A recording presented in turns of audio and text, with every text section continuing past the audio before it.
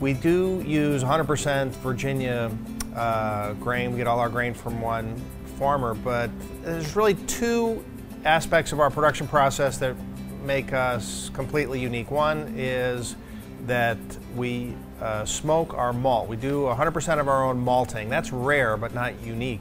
The unique thing is that we use applewood and cherrywood smoke.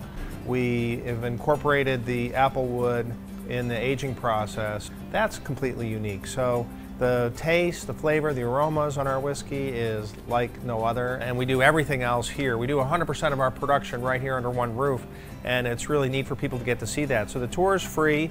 You get to see the malt room, the kiln, the still, the fermenters, the bottling, the barrels. Always something new here.